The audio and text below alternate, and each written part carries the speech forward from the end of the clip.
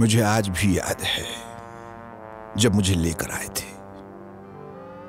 कानपुर के मशहूर नजीर मास्टर ने खुद अपने हाथों से सिला था।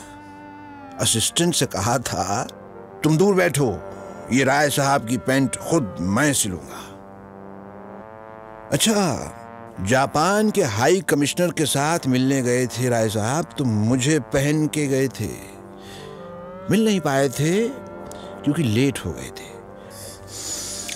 Anyway long and fruitful relationship you see me and Rai साहब पैंतालीस साल से एक भी धागा इधर का उधर नहीं होने दिया उन्होंने